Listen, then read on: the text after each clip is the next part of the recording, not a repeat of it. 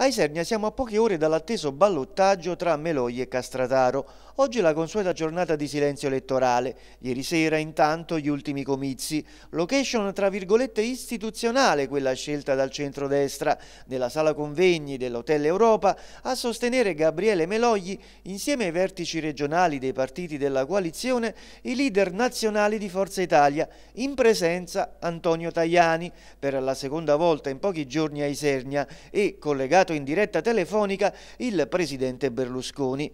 Sull'altro fronte opposta la scelta anche della location. All'aperto, sulla terrazza del bar centrale, in pieno centro storico, atmosfera più raccolta ma folla delle grandi occasioni, al cospetto della quale Piero Castrataro, candidato del centro-sinistra, ha incontrato i suoi simpatizzanti.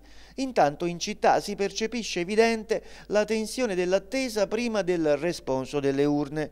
A proposito, domani, domenica 17 ottobre, seggi aperti dalle ore 7 alle ore 23 lunedì 18, possibile votare dalle 7 alle 15. Qualche ulteriore informazione. Potranno votare tutti gli elettori iscritti nelle liste elettorali e quindi anche chi si è astenuto il 3 e il 4 di ottobre. Ma a differenza del primo turno, al ballottaggio non contemplata la possibilità di esercitare il voto disgiunto e quindi di scegliere una lista collegata ad un candidato diverso da quello votato. Ai cittadini infatti sarà consegnata una scheda scheda con i nomi dei due sfidanti, in cui saranno indicate le liste collegate ad ognuno. Basterà tracciare un simbolo sul nome di uno dei due aspiranti sindaco per esprimere la propria preferenza, mentre resterà valido l'eventuale voto già accordato al primo turno ai candidati consiglieri.